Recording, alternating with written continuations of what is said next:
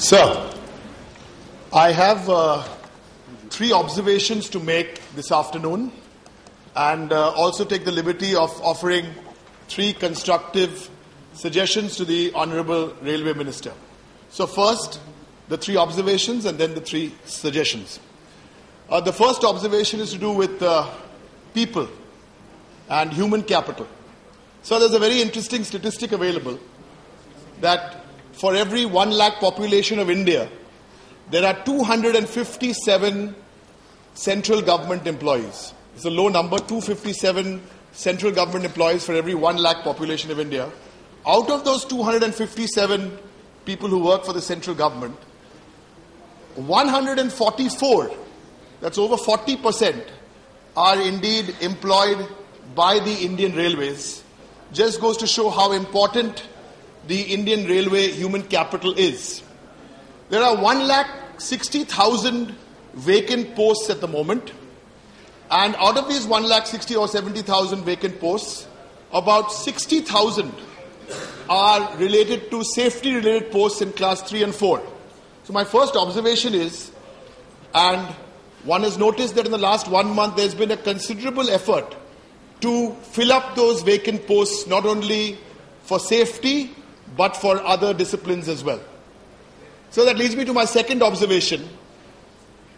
If anyone wishes to conclude that by filling up all those vacant posts in safety, the safety problem of the Indian Railways will be removed, or for that matter, for by increasing the passenger fares, all the safety problems would have been removed. That could never happen, but one appreciates the importance that the ministry is giving to this very, very key area of safety, and I think long term solution, sir, is the problem. So, my third observation is regarding the commercial land, railways putting the commercial land to use. So, there's a lot of talking which is happening which is distracting, sir. May I request you to uh, help me because it disturbs me when people are talking no, on the left and the back. Thank you, sir. Let's talk, please.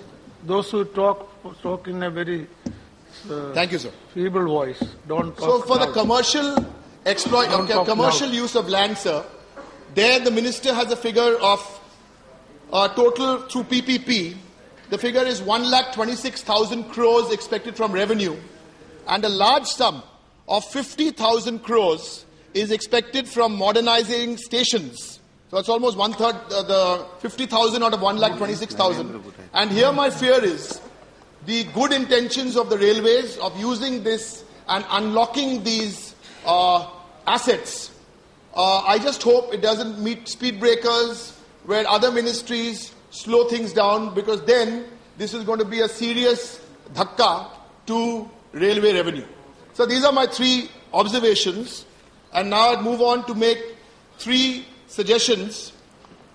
One of which is related to the consumer, the passenger, and the other to do with freight.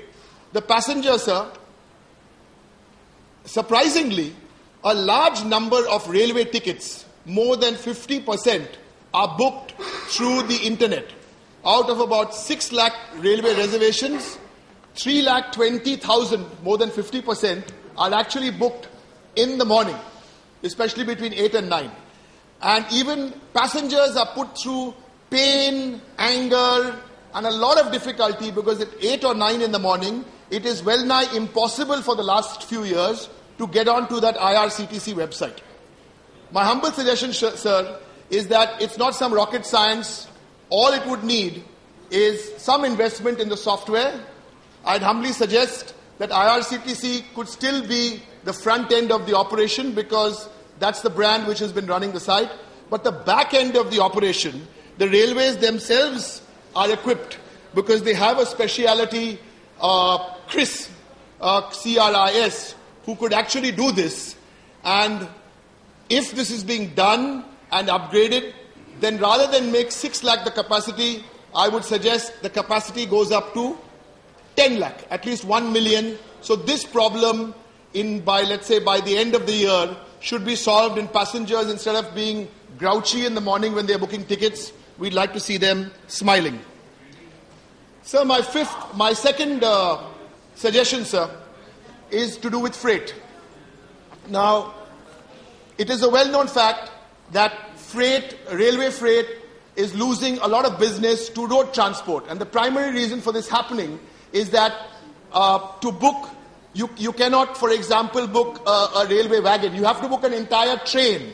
So, I mean, that's, that means the tonnage you have to, to, to have is, is huge. So, there are two ways of looking at it. One is, of course, the freight rates went up, but the other uh, creative solution here, uh, one would suggest, is to try and reduce the tonnage booking. And this can be done.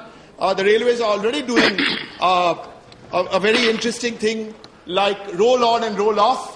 I believe there's a pilot project on somewhere.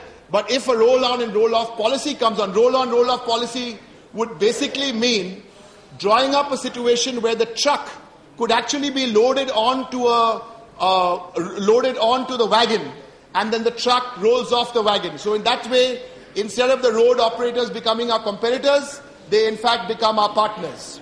And the second one is the road railer concept, where uh, this is another uh, project which could be tried.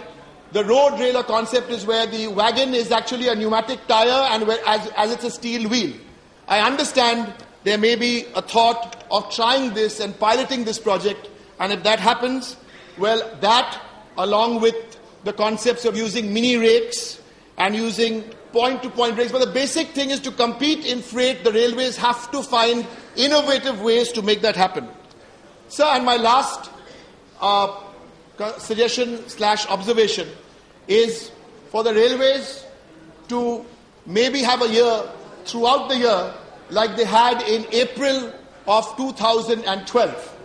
The April 2012 figures Perhaps the best way to compare those figures would be able to look at the figures of April 2011. Now, if you look at the April 2011 figures and compare them to 2012, here's how they look. Punctuality has increased, or rather has improved by 10%. Passenger revenue has improved by 8%. I'm talking about month on month on comparison. Uh, sundry earnings have, in, have improved by 13%. Freight has improved by a large 23% but you have to consider because the freight rates were hiked. But overall, this is happening in an overall economic situation which is slow because there are empty, there are empty, yes, I'll finish in the next one minute. There are empty rakes, both open rakes and uh, closed rakes, which are wagons which are still open. And I think the railways need to find innovative ways to try and get ahead of the slow economic downturn. Sir, I end. Uh, the speaker before lunch, just before me, mentioned that the railways perhaps needed a clear vision. So the vision for the railways was in fact provided in the same way an ophthalmic surgeon would provide good eyesight to us. As you know, if you go to an ophthalmic surgeon, they'll tell you your vision. You don't need spectacles because you have a 20/20 vision. Uh, between 2009, when uh, the Honorable uh, Railway Minister then was uh, Mamata Banerjee, 2009 May, between 2009 May and 2011 May, halfway through that, the railways came up with a fascinating and an absolutely pointed, strategic, time-bound document which they called Vision 2020. Sir, in conclusion, I would urge the Honorable Railway Minister to no, yes, stay focused on the Vision 2020 document, yes. which clearly outlines how this very brilliant organization can continue and must continue to be the lifeline of our nation. Thank you, sir. Thank you.